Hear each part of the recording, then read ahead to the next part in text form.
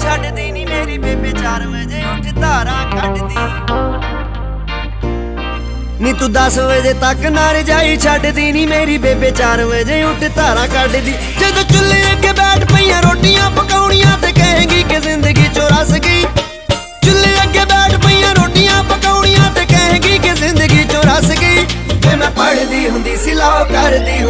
ਹੁੰਦੀ ਤੇਰੇ ਝੂਠੇ ਲਾਰਿਆਂ 'ਚ ਫਸ ਗਈ। ਤੇ ਮੈਂ ਪੜਦੀ ਹੁੰਦੀ ਸੀ ਲਾਓ ਕਰਦੀ ਹੁੰਦੀ ਸੀ ਕਿੱਥੇ ਤੇਰੇ ਝੂਠੇ ਲਾਰਿਆਂ 'ਚ ਫਸ ਗਈ।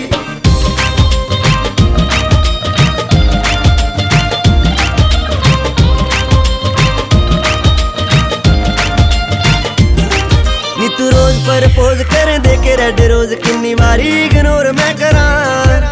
ਲੱਗਦੀ ਏ ਤੂੰ ਵੀ ਸੱਚੀ ਜਾਨ ਤੋਂ ਪਿਆਰੀ, ਬਸ ਘਰ ਦੇ ਹਾਲਾਤਾਂ ਤੋਂ ਡਰਾਂ।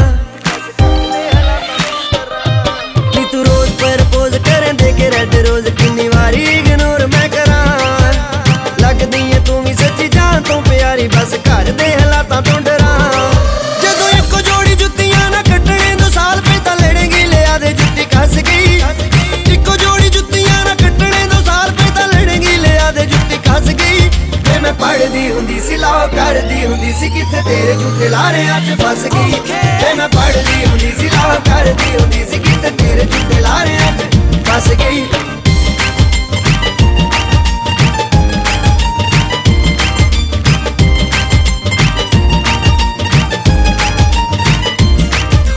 ਇੱਕ ਹੀ ਫਰਾਟੇ ਅੱਗੇ ਸੋਈਏ, ਪਰਿਵਾਰ ਐਡਜਸਟ ਕਰੇਗੀ ਕਿਵੇਂ?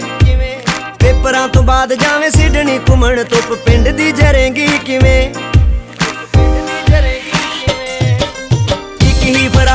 ਫਰਾਡੇ ਅੱਗੇ ਸੋਈਏ ਪਰਿਵਾਰ ਐਡਜਸਟ ਕਰੇਂਗੀ ਕਿਵੇਂ? ਪੇਪਰਾਂ ਤੋਂ ਬਾਅਦ ਜਾਵੇਂ ਸਿਡਨੀ ਘੁੰਮਣ, ਧੁੱਪ ਪਿੰਡ ਦੀ ਜਰੇਂਗੀ ਕਿਵੇਂ?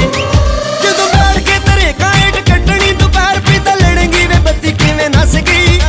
ਬੈਠ ਕੇ ਤਰੇ ਕਾਇਟ ਕੱਟਣੀ, ਦੁਪਹਿਰ ਪੀ ਤਾਂ ਲੜੇਂਗੀ ਵੇ ਬੱਤੀ ਕਿੱਥੇ ਨਸ ਗਈ? ਜੇ ਮੈਂ ਪੜਦੀ ਹੁੰਦੀ ਸੀ ਲਾਓ ਕਰਦੀ ਹੁੰਦੀ ਸੀ, ਕਿੱਥੇ ਤੇਰੇ ਝੂਠੇ ਲਾਰਿਆਂ 'ਚ ਫਸ ਗਈ? ਤੇ ਮੈਂ ਪੜਦੀ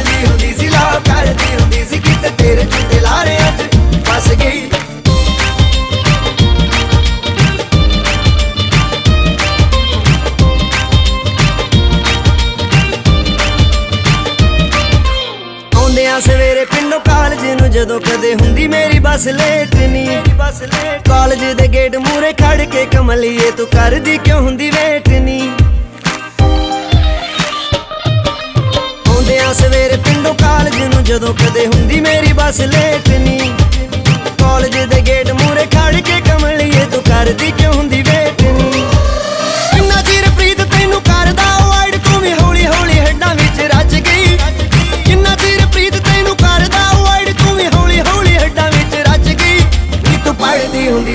ਕਰਦੀ ਹੁੰਦੀ ਸੀ ਕਿਤੇ ਮੇਰੇ ਚੱਕਰਾਂ 'ਚ ਐਵੇਂ ਫਸ ਗਈ। ਨੀ ਤੂੰ ਪੜਦੀ ਹੁੰਦੀ ਸੀ ਲਾਓ ਕਰਦੀ ਹੁੰਦੀ ਸੀ ਕਿਤੇ ਮੇਰੇ ਚੱਕਰਾਂ 'ਚ ਐਵੇਂ ਫਸ ਗਈ। ਨੀ ਤੂੰ ਪੜਦੀ ਹੁੰਦੀ ਸੀ ਲਾਓ ਕਰਦੀ ਹੁੰਦੀ ਸੀ ਕਿਤੇ ਮੇਰੇ ਚੱਕਰਾਂ 'ਚ ਐਵੇਂ ਫਸ ਗਈ। ਕਿਤੇ ਮੇਰੇ ਚੱਕਰਾਂ 'ਚ ਐਵੇਂ ਫਸ ਗਈ। ਕਿਤੇ ਮੇਰੇ ਤੂੰ ਲਾਰਿਆਂ 'ਚ ਫਸ ਗਈ।